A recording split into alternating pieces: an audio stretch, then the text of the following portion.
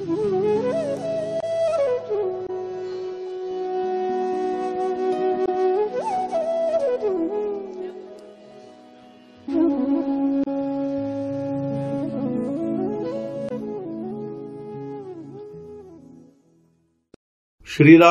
ಸಮರ್ಥ.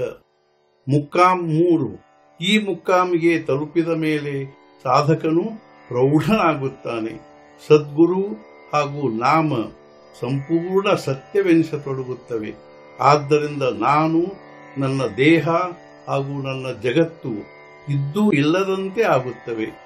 ನಾಮಸ್ಮರಣೆಯಲ್ಲಿ ನಾಮದ ಧಾರೆ ಉಂಟಾಗುತ್ತದೆ. ನಾಮಸ್ಮರಣೆಗೆ ತನ್ನದೇ ಆದ ಒಂದು ಗತಿ ಬರುತ್ತದೆ.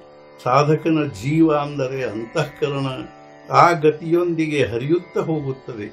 ಆ ಹರಿಯುವಿಕೆಯಲ್ಲಿ ನಡುನಡುವೆ ತನಗರಿಯದಂತೆ ತನ್ನನ್ನು ತಾನು ಮರೆಯುತ್ತಾನೆ.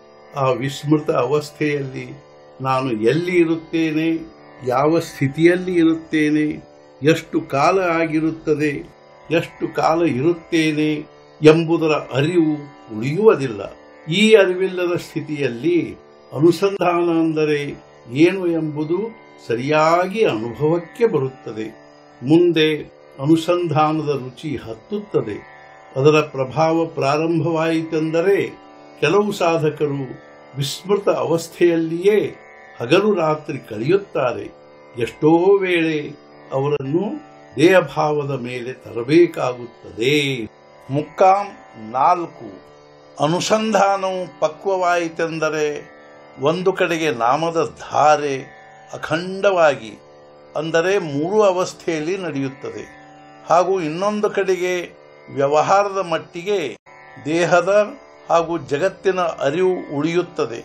ಆದರೆ ಎಲ್ಲಿ ನೋಡಿದಲ್ಲಿ ಸತ್ತಾರೂಪದಿಂದ ಸದ್ಗುರುಗಳ ದರ್ಶನವಾಗುತ್ತದೆ, ದೇಹದ ಮೇಲೆ ಸಂಪೂರ್ಣವಾಗಿ ಸದ್ಗುರುಗಳ ಒಡೆತನವೇ ಪ್ರಸ್ಥಾಪಿತವಾಗುತ್ತದೆ ಅವರ ಇಚ್ಛೆಯದೇ ಸಾಮ್ರಾಜ್ಯ ಸರ್ವತ್ರ ವ್ಯಾಪಿಸುತ್ತದೆ.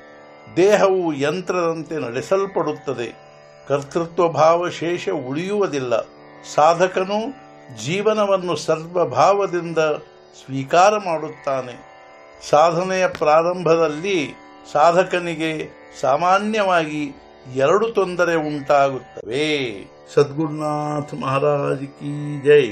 ಜೈ ಜೈ ರಘುವೀರ ಸಮರ್ಥ.